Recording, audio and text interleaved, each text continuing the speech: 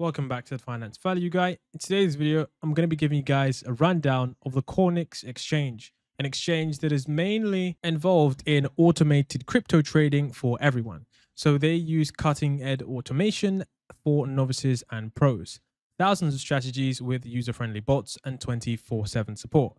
So let's get started into how you can start using this as a beginner. So when you sign up for the Cornix exchange, you're going to be presented with this screen. This screen that you see right here is basically where you connect your exchange. Now there's two ways to connect an exchange to Cornix trading. Number one is the quick connect, which is what I recommend for beginners. This basically allows you to click a single link and connect yourself to an exchange without having to do any external work. Of course, there's a second way, which is where you use an API key. You go into the application, use an API key, and then just put that API key in. Now, what you want to do, since I'm going to be connecting this to BitGet and just be doing it with the futures, I'm going to click BitGet Futures. Now, with this, make sure you're signed in on other exchanges. And of course, when you click connect to BitGet, so that's what I'm going to do, it's going to pop up with this see right here, I'm then going to click next upon authorization. Now the screen right now is going to be blurred because of course I'm not going to be sharing my details with you all, but basically I just have to do the security verification. And then of course, once that's done, I will then show you guys exactly what to do next. So next you can see right here, we're now presented with this, okay? We're now presented with two main options. So there are basically certain options that we can use, and I wouldn't recommend you as a beginner going into futures. I just recommend connecting it to a spot account because futures often uses leverage and leverage is quite tricky. But basically, it shows you here where do you want to start we can either follow a group, which is basically we follow automated crypto expert traders where they have multiple symbols and trading strategies and they open new trades completely automatically. Or what you can do is you can get a dollar cost average bot. This is a bot that's going to allow you to invest into the market automatically. And basically, what it tries to do is it tries to buy low and sell high. So, for example, it might buy low sell high based on past market conditions and based on where the range has gone before. So of course, you could also click explore instead, and this is going to take you to explore. So what I'm going to do is I'm going to click follow a group. And then of course, you can see what you can do is you can follow certain groups that are on here that present crypto trade signals. So you can see the different signals that they provide every single month. You can see the different costs every single month. And you can see the different names for these different groups. Now, it's completely up to you. I do know as a beginner, you're not going to want to be paying 45 to 60 dollars per month for these kinds of groups. But of course, you can see the reviews here. So I would say before you just immediately start following these people, of course, you do get a 70 day trial. I mean, a seven day trial. But of course, check the reviews. This one's got 3.6 stars, but this one, of course, has got 4.2 stars. So it's up to you. And of course, it does also depend on your trading style. For example, this one right here, you can see this is automated scalping on BitMEX. You can see that I can click this one. I know that scalping is something that completely works in crypto. So when I click this, I can see my overview here. And basically, what I'm doing is I'm basically subscribing with the money in my futures. And of course, you can see that what I'm doing is I'm basically saying that for every trade, I want to do this amount so for example, if I wanted to start with 10 US dollars, I could have this amount. And of course, that could be what I wanted to use. So for example, let's go ahead and let's actually go back to follower signals group and let's get, let's actually pick a different method. So for example, let's click a DCA bot and this is going to be what most beginners do want to use. So the reason that most beginners do want to use this area is because this is going to be where you're finding out exactly what kind of strategies have been working in the long term. Now, a thing that you can see here and one that you need to pay attention to is the time frame. In the bottom right hand corner, you'll see the different time frame. This one is 299 days, this one is 770 days, and this one is 214 days. Now, what we can see here is that these are some of the most popular dollar cost average bots. And dollar cost average bots are bots that essentially dollar cost average, meaning that they invest in a regular time frame to ensure consistent market return. Now, Of course, what you can do is you can also see the profits for the last 90 days at 7%. You can see the average monthly profit at 2%, and you can see the average total profit since May of 2022. So this is really, really nice. Now, what you need to remember is that basically what you're doing here is you're gaining value on cryptocurrencies in the actual denominated value, which basically means that this isn't all USD value. This is the value of the actual base asset. So this isn't 17% on your capital it's 17% on the actual money of the cryptocurrency. So what we can see here is, of course, the also different types of trading assets. So we can see that this one is spot, this one is long isolated, which means it's futures which also means that you're actually using leverage to increase the gains from this. And then, of course, you can see that this one also did have some drawdowns, so you might want to be careful with those. Now, let's say we wanted to pick something that was rather risk-free. Let's say we scrolled around and we saw that there was, of course, this one.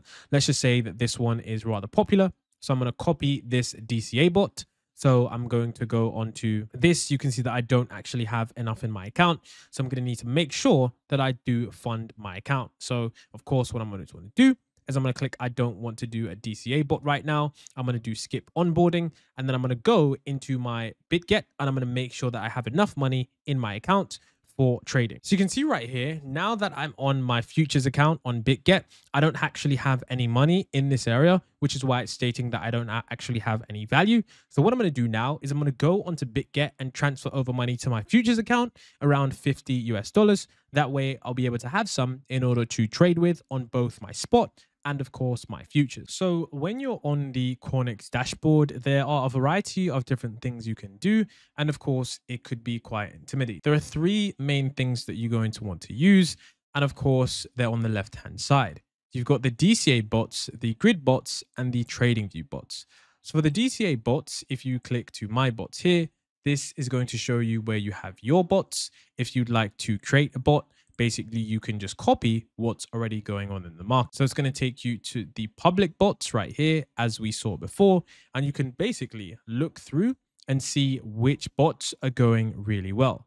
Now, what you can see here also, and what you want to pay attention to, is ones that have been running for the longest period of time, because that means that these ones are likely to be more consistent and long term in terms of their profits. For example, we can see that this kind of bot has been going for 848 days, which means that this kind of return is likely to be a lot more consistent rather than this one that has just been in 40 days, as in we don't know what could happen to these bots after certain periods of time. So what we could go ahead and do, for example, is we could copy this bot, but certain bots are in certain exchanges. So for example, what we can see here is that this bot over time manages to get certain amounts of monthly profits that look really, really nice. You can see over here, 0.21%, 0.17%, 0.8. And over a long period of time, this manages to account for a decent level of accumulated profit for that asset. Now, What's important to know is that what you also want to do here is you want to make sure that when you check out certain bots, you actually look at the minimum order size. For example, right here, you can see that the amount per trade right here, certain ones might have minimum order size, but my account here doesn't actually have anything on it. My BitGet account, it doesn't have anything that I can currently trade with, which is right frustrating but this is, of course, just a demonstration. Now, overall, basically what you want to do here is with a bot like this, ideally what you'd like to do is just have something that is basically just passive income on the sidelines. So for example, with this, what you can see is, of course, we can actually see the bot configuration. If we want to go into the details, you can see exactly how many orders it's going to do how many active orders, the price difference, the distance, which is 2.2%, where so basically it's going to take profit at 2.2% and all of the extra details. And remember, these are DCA bots, which means that over time, they're just going to accumulate profits. For example, if you want to look at the risks of certain DCA bots,